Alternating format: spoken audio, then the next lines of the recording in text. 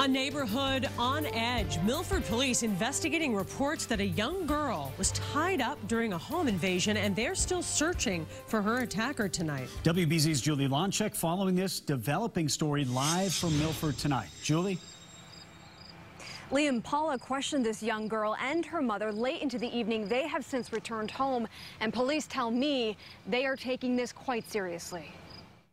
I was very surprised. I look out the window, all of a sudden I see a bunch of cops. Police say it happened before 3 o'clock Thursday. It makes you wonder. I mean, we lock our doors anyway. But um, that something like this would happen in the middle of the day. A woman who lives at this home on Chestnut Street in Milford reported a home invasion. All the neighbors were surprised. You know, we didn't see, we literally did not see anything. She reportedly told police her daughter was home alone when a masked man broke in and tied up her 10-year-old daughter.